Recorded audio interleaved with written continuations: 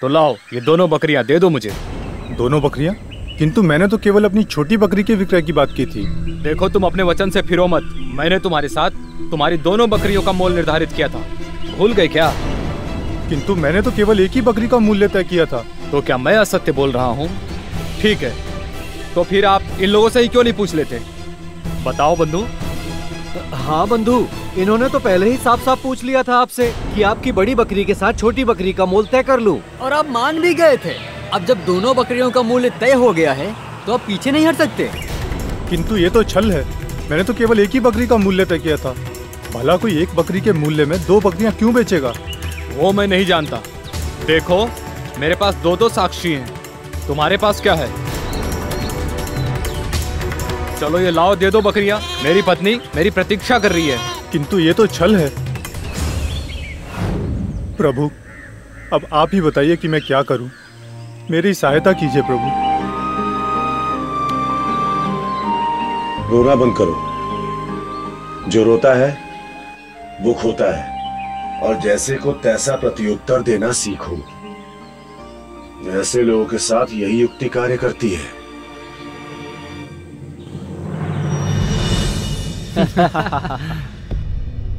और इस प्रकार कील के साथ साथ उस नाविक से हमने उसकी नाव भी हड़प ली।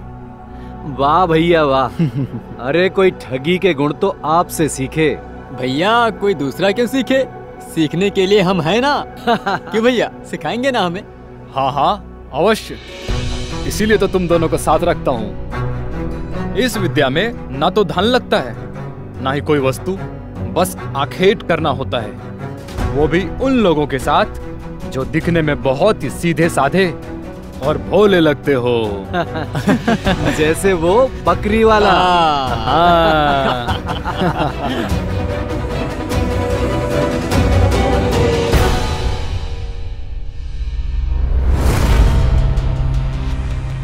ये यहाँ आ रहा है और इसके साथ ये कौन है?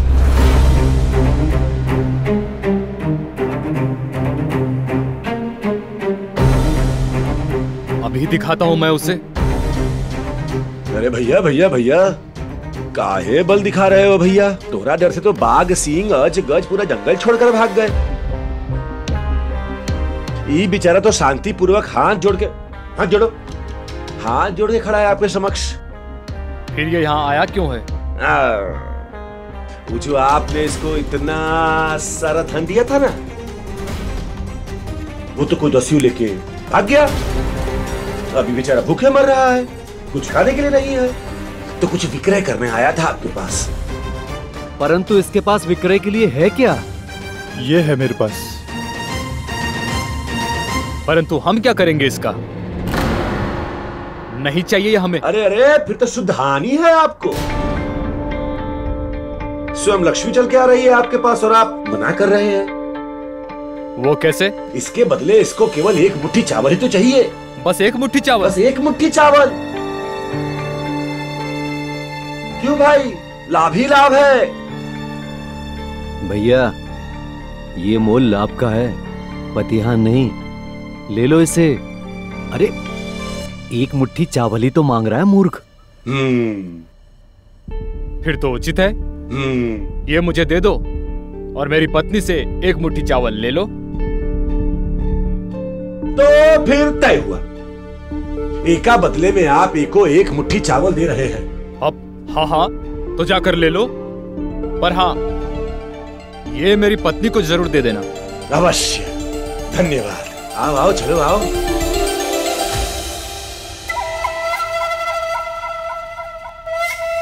अति मूर्ख आदमी। जी कहिए क्या कार्य है? इसके बदले में आपके पति ने मुझे एक मुट्ठी चावल लेने को कहा है। केवल एक मुट्ठी चावल? हाँ एक मुट्ठी चावल। यही मूल्य तय हुआ है मेरा उनसे।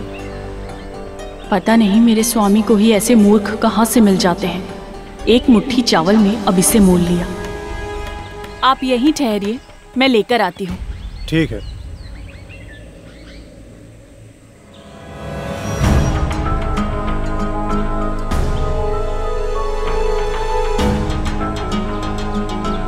ये लीजिए एक मुट्ठी चावल। ये क्या कर रहे हैं आप? हाथ छोड़िए मेरा। हाथ छोड़िए मेरा। स्वा... स्वामी बचाइए रक्षा कीजिए हमारी। स्वामी! अरे ये तो तुम्हारी भाभी का स्वर है। क्या हो गया अकस्मात? शीघ्र चलो। हाँ चलो। स्वामी बचाइए रक्षा कीजिए हमारी। रुक जाओ। ये ये सब क्या है? छोड़ो मेरी पत्नी का हाथ। वही तो नहीं छोड़ सकता। अन्यथा मूल्य का अर्थ क्या रह जाएगा साहूकार जी? तात्पर्य?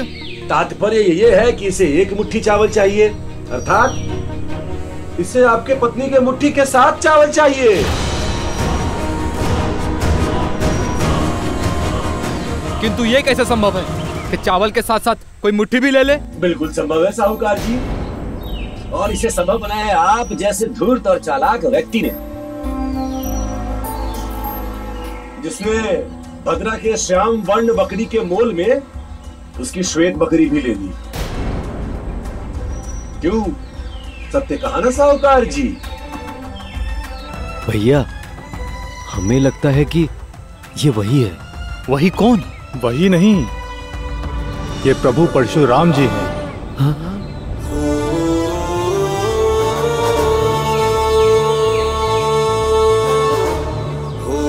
तो क्या आप ही हैं है वंश के क्षत्रियों के संहारक? परशुराम जी हैं? उचित पहचाना।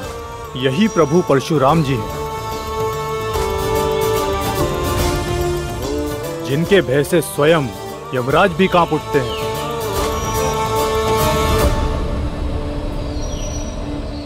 नहीं प्रभु नहीं। प्रभु हमें क्षमा कीजिए प्रभु। कर दीजिए प्रभु। हम हमें क्षमा कीजिए प्रभु। क्षमा कीजिए प्रभु हमें क्षमा कीजिए प्रभु। प्रभु, हमसे बड़ी भूल हो गई। हम इसकी बकरियाँ लौटा देंगे। हाँ, प्रभु। क्षमा कर दो प्रभु। हाँ प्रभु अब हम कभी किसी के साथ ठगी नहीं करेंगे। हमें क्षमा करें प्रभु। हमें क्षमा कीजिए किंतु हमारा शीश मत काटिएगा। क्षमा प्रभु क्षमा। ठीक है। पहली और अंतिम चेतावनी। मेहनत करो। स्वयं धन कमाओ। किसी के साथ छल करके नहीं। हमें स्वीकार्य प्रभु।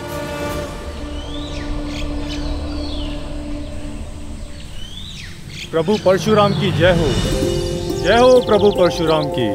उनकी वजह से मुझे मेरी बकरियों का सही मूल्य मिल गया। जय हो प्रभु परशुराम की।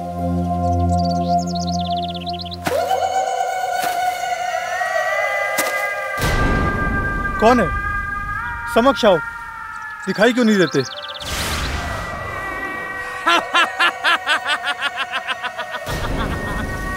कौन हो तुम? मैं हूँ छायासुर।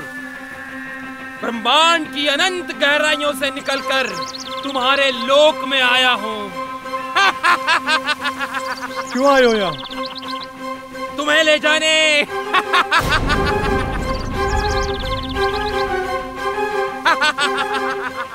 ये असुर तो अभी भी यहीं खड़ा है। परंतु ये कैसे संभव है? ये सब क्या हो रहा है? मैं आगे भाग क्यों नहीं पा रहा?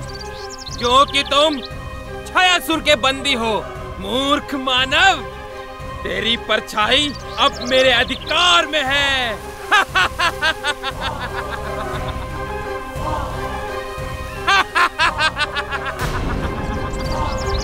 भागना व्यर्थ है मूर्ख मानव। चाहते क्या हो तुम? सृष्टि में परिवर्तन। सृष्टि का परिवर्तन? कैसा परिवर्तन? अधर्म की छाया का धर्म की छाया पर राज। तेरी छाया मैं ले जाऊँगा और अधर्म की छाया तुझे दे जाऊँगा।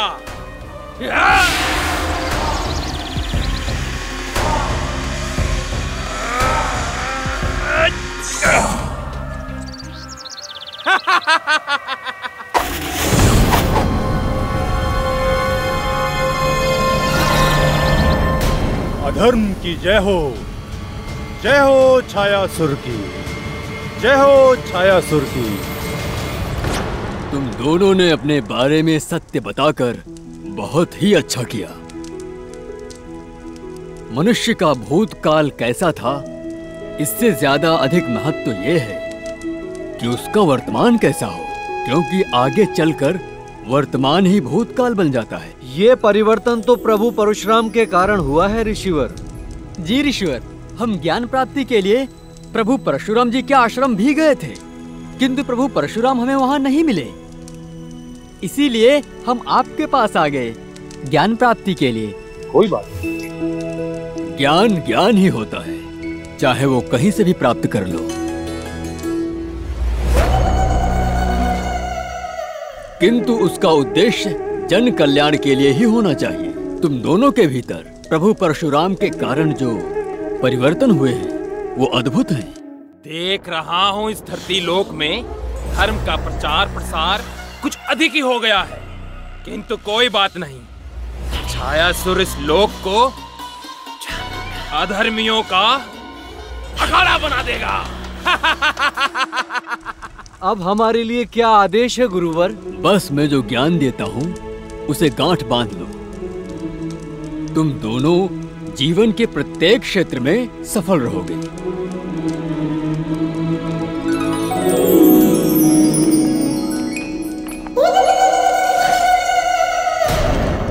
ये क्या था?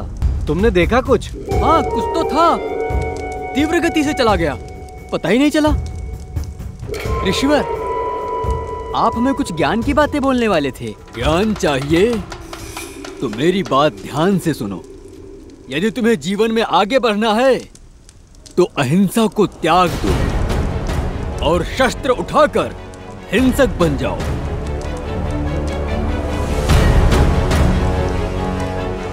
क्या? जो सत्य बोले उसकी जिह्वा काट दो। अरे ये क्या बोल रहे हैं? जो पूजा करे यज्ञ करे उसे छिन्न भिन्न कर दो। इस धरती को रक्त रंजित कर दो। तुम्हारे कटारों से रक्त सूखना नहीं चाहिए। समझे ये आप क्या बोल रहे हैं गुरुदेव? जी गुरुदेव घोर अनर्थ। ये हमारा नहीं दैत्यराज छायासुर का आदेश है। धर्म का नाश हो अधर्म की जय हो।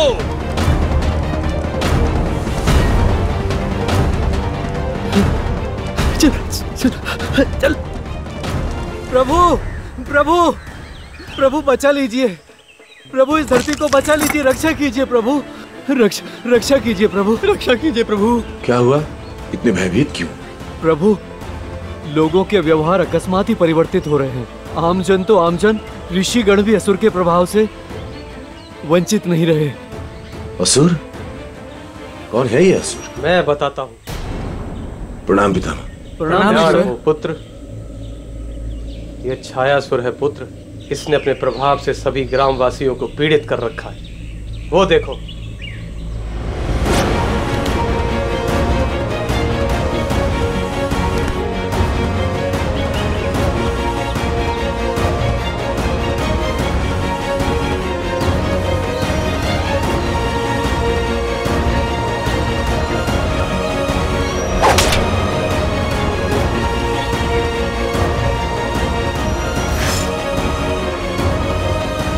सभी को अधर्मी बना दिया इस असुर ने।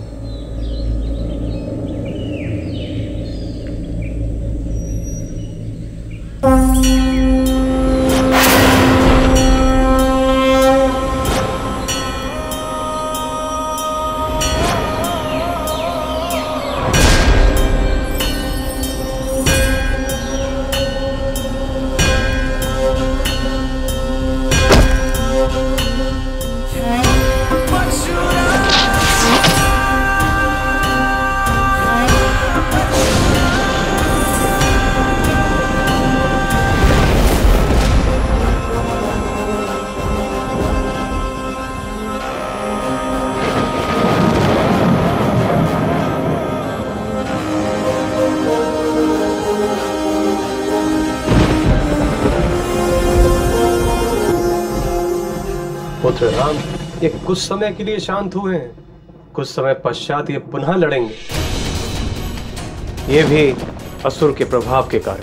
परंतु ये छायासुर है कौन पितामह? तुम्हें स्मरण होगा पुत्र जब तुम्हारा युद्ध असुर संकेत से हो रहा था। उसी समय तुमने अपने धनुष से उस पहाड़ को ध्वस्त कर दिया। उसके कुछ टुकड़े ब्रह्मांड के ग्रह से टकरा गए। टकराने के पश्चात वह ग्रह अपने स्थान से हिल गए। उसी कारण वहाँ एक परछाई बनी। जो धरती लोक पर आई ये वही असुर छायासुर है। अभी तू ये चाहता क्या है? पृथ्वी लोक पर धर्म का नाश कर पाप और अधर्म का साम्राज्य स्थापित करना चाहता है असुर। मैं इसकी ये मंशा कभी पूरी नहीं होने दूँगा।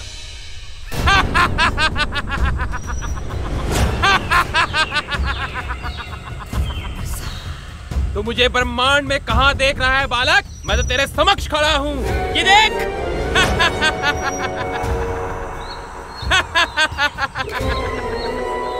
अरे वाह, हाथ में धनुष बाण। पहली बार किसी ब्राह्मण को इस मुद्रा में देखा है। ब्राह्मण कब से योद्धा बन गए?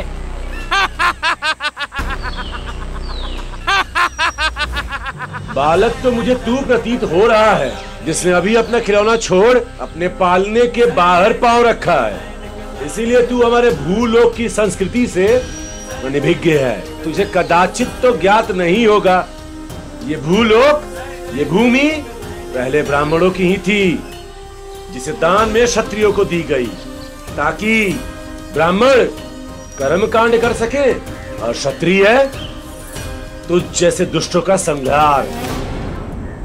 अच्छा तू मुझे क्षत्रिय नहीं अभी तू ब्राह्मण प्रतीत होते हो वो ब्राह्मण जो सदा से निर्बल रहे हैं। इसीलिए पहले ब्राह्मण धर्म निभा रहा हूँ तुम्हें शास्त्र से समझा रहा हूँ। नहीं समझे तो उसके पश्चात शस्त्र से समझाऊँगा।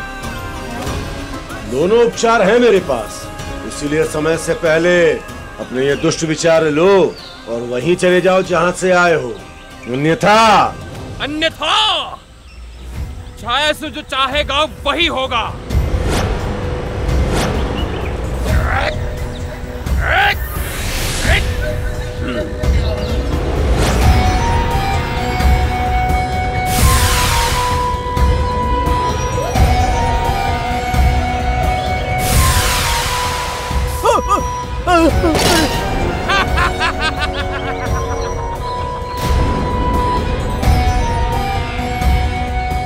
हम बच गए।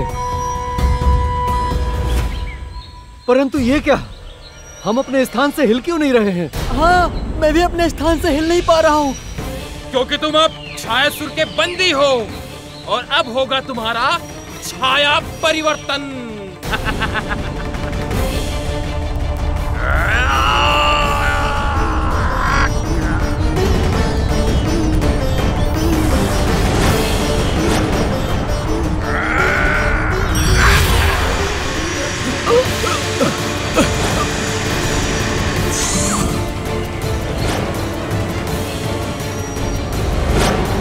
छायासुर की जय हो, अधर्म की जय हो। छायासुर की जय हो, अधर्म की जय हो। इस असुर ने छाया परिवर्तन से असुर बना दिया है राम।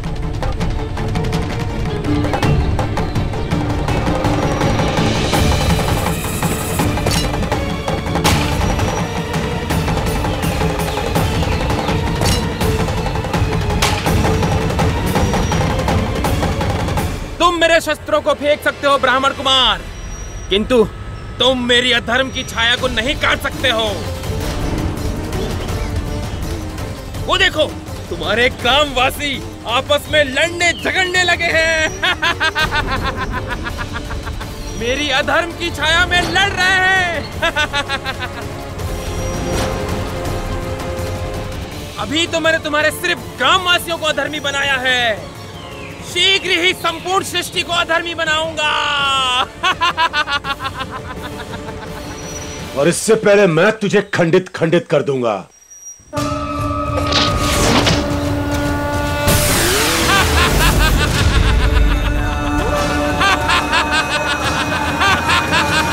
पुत्र समय अस्त्रों से इस असुर का वध असंभव है। क्योंकि ये ब्रह्मांड के ग्रह छाया से उत्पन्न हुआ है। क्या कहा आपने पितामह? यही कि यह छाया से उत्पन्न असुर है। इसका अंत असंभव है पुत्र।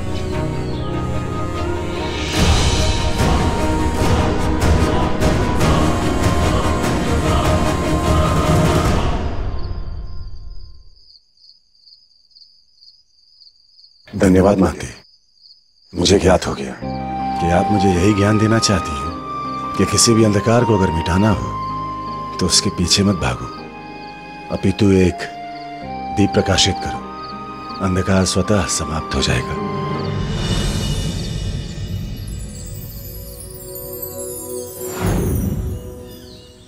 क्या सोच रहे हो ब्राह्मण कुमार?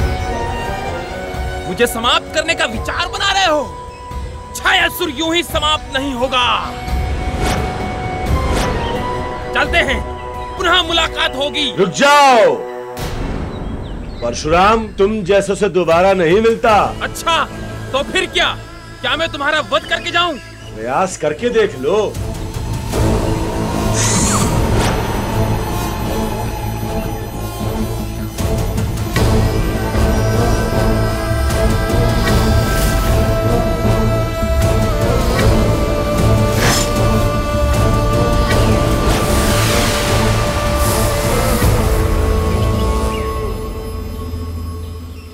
ब्राह्मण, इससे पहले कि तू मुझ पर वार करे, मेरा ये शस्त्र तेरी परछाई पे नहीं, तेरे शरीर पे वार करेगा।